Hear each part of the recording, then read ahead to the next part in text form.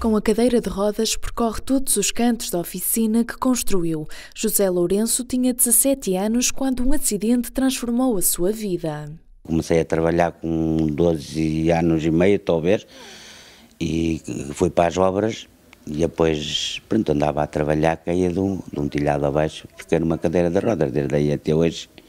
Estive ali uns anos sem fazer nada, porque, porque pronto, também não, não tinha ideia de, de nada.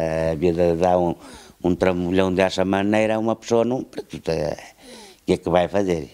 Fazer ali algumas coisas até às vezes umas coisas para me entreter.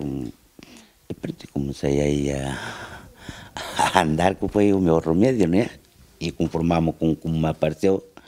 As ferramentas que pertenciam ao seu pai ajudaram-no a voltar ao ativo. Mais tarde, um curso de carpintaria foi decisivo para os trabalhos que hoje desenvolve. Aqui faz de tudo um pouco. Comecei a trabalhar então de, de, em madeiras, vá, fazer carpintaria e fazer móveis e, e pronto, todo o serviço de madeira que me aparecia ia fazendo, né?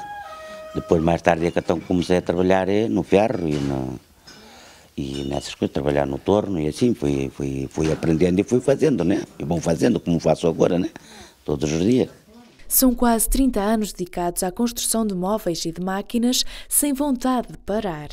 Há dias que, pronto, me sinto um bocado triste, mas eu, mesmo assim, sinto-me feliz, não é?